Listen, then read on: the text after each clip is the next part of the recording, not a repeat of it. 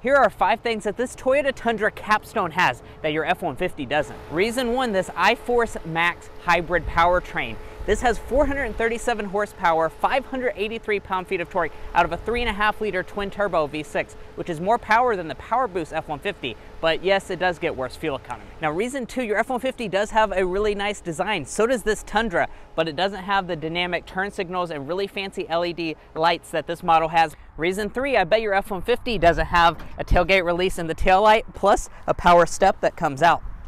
Reason four this Capstone's interior is so nice, guys. And we're actually gonna have a larger display than the F-150 at 14 inches. It runs wireless CarPlay, wireless Android Auto too.